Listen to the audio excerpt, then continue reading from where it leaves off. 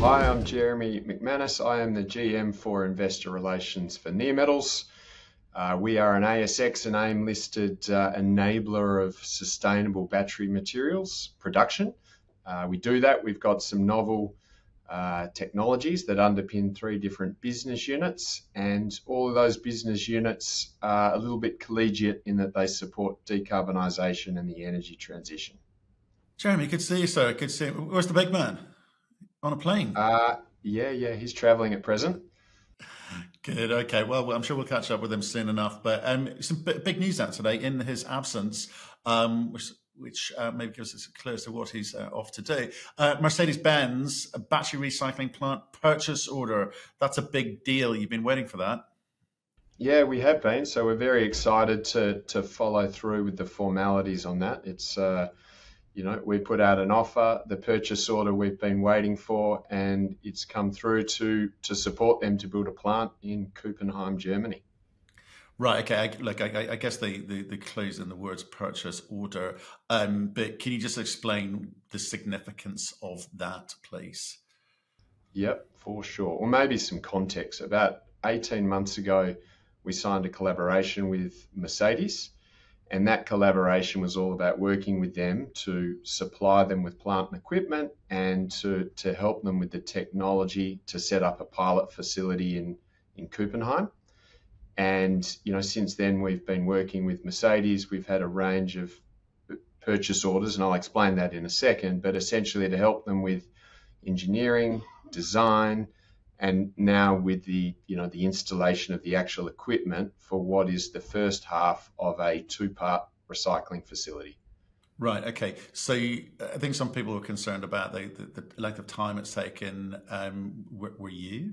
No, not at all. Um, you know, big company. Um, we can't flex that mus- much muscle in terms of timing. We always knew it was coming. They had broadcast it. They'd had a you know, a, a, shovel ceremony at the site and started construction, etc. But it's nice to have that formality checked off officially and uh, hopefully give some comfort, you know, to people who are watching.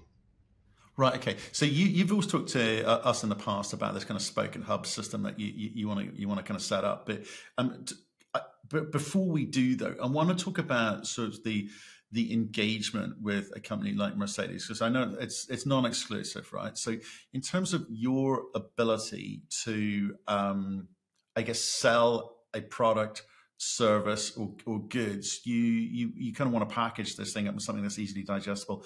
Um, for that audience, but I think it would also be quite useful for us as investors to try and understand how you package this thing up going going forward with Mercedes, um, and you know what the upside is with them, if you don't mind.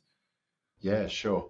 So essentially, the the collaboration agreement we signed a while back, you know, talks about supporting Mercedes with you know their endeavours to build a pilot facility in Kuppenheim.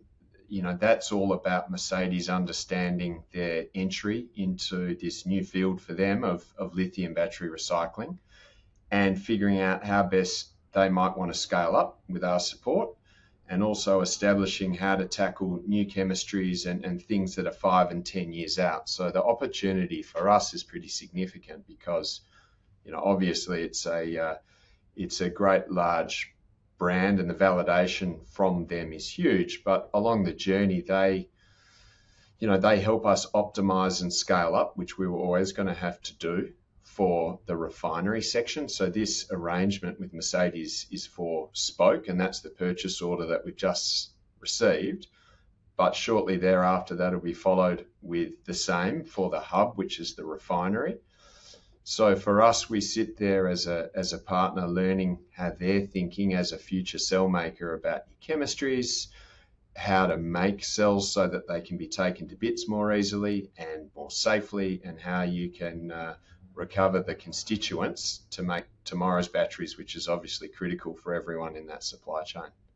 Right, and obviously, starting you talked about some of the important um, variables there. Obviously, scale is is one of those things that are important to you, um, and that's that's scaling. Given that the kind of nascent um, position of battery cars, you you've kind of got to feed this these these these hubs and these these spokes. So, um, for Mercedes, that kind of ramp up period, you're starting at what sort of level and expectation to build up to what sort of level?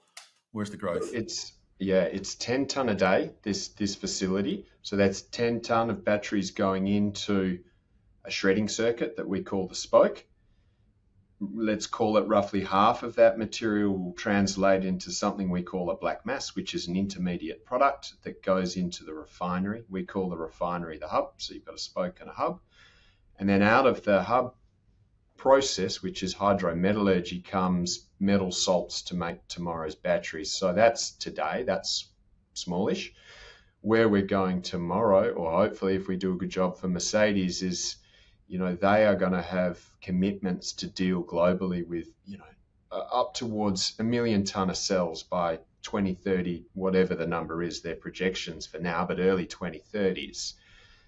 Will we recycle every one of those batteries? Probably not because of jurisdiction and, and transport and logistics, but we're the uh, technology partner in their homeland and you're looking to do a good job and, and connect with them going forward. So that's that's the opportunity is where they're going in the future and, and being connected to that because they have the feed source. Right. Okay. I guess it's hard to actually put put real numbers on it, but I I, I need to understand t- today. This is you took you used the word validation earlier, endorsement um, of the the technical aspect of of this. So that that's great, but um, ten ton a day doesn't sound like a lot, and I know you've said it. Your expectation is that that that it grows. So does this thing need to make money today, or is this really about proof of concept? To allow you to kind of sell, you know, other, you know, packaged goods, as it were?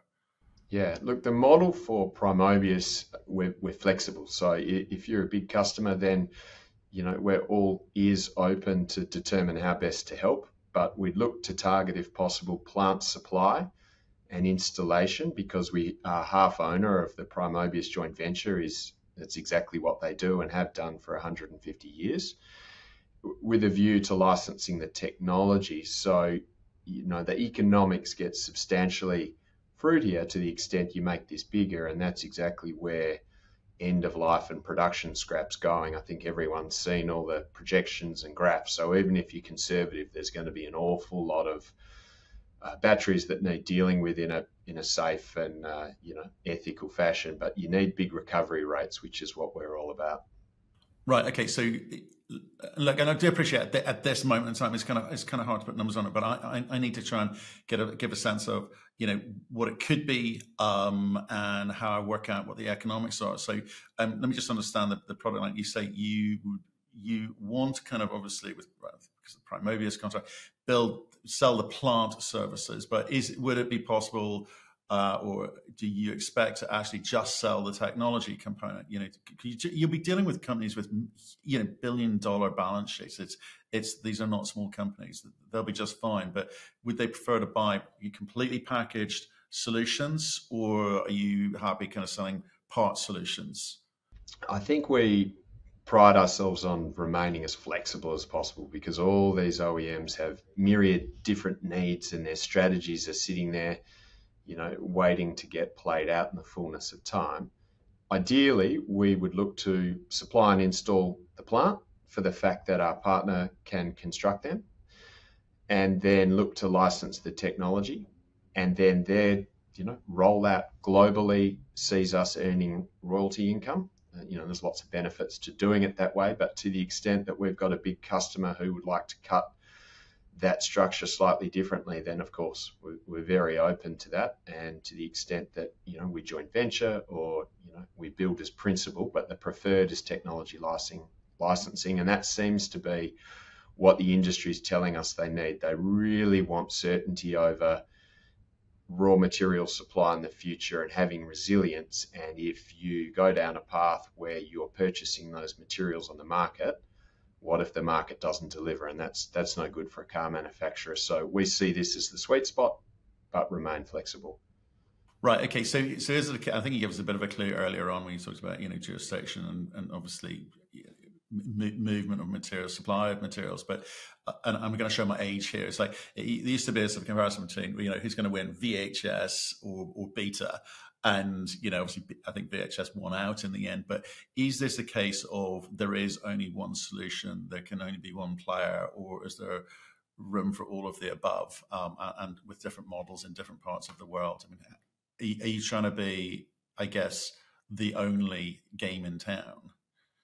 Uh, no, by no means. I think that's quite unrealistic. It's a huge industry. You need lots of players to make an industry. So, not a winner takes all situation, but certainly the method that we're using to extract those metals, which, which some others are using similar, hydrometallurgy, it gives you the best recovery. So, this is the sunrise approach versus the sunset, which is pyro and burning stuff in a smelter and losing half the material up a stack. Um, and I think the business model that we have adopted is probably different from some of the peer group. I think the two can work in unison. This is going to be a huge sector. So the addressable market, you know, is really, really big, but we remain confident on our business model, if you like, which is going after big companies not looking to transport and figure out hazardous waste movements across borders, but rather, you know, take material across the fence, as it were, um, and process and return those materials back to the people that are super sensitive about raw material resilience. Okay, and I'll one, one final question brings us kind of full circle back to the PO, which is right. You got the PO. Now what? When when do you get money? What do you do with it? Um, what's the timelines? Yeah. So with this PO for the installation, supply and installation of a 10 ton plant in Kuppenheim for the shredding circuit, uh, we'll start installing next quarter, so Q4. Um, you know, commissioning Q1 of, of next year, and somewhere along that uh, that pathway, we're expecting the same sort of purchase order for the refinery, and then the two sort of overlap one another, uh, and we look to supply and construct both for Mercedes, and then you know happily work with them as as you know you have commissioning and ramp up, and and we start to look at where they're going on cell chemistry and production. And also what they're doing longer term in terms of cell production and, and the scrap that's being generated and how they're thinking about end of life, which is the real prize at the end of the day.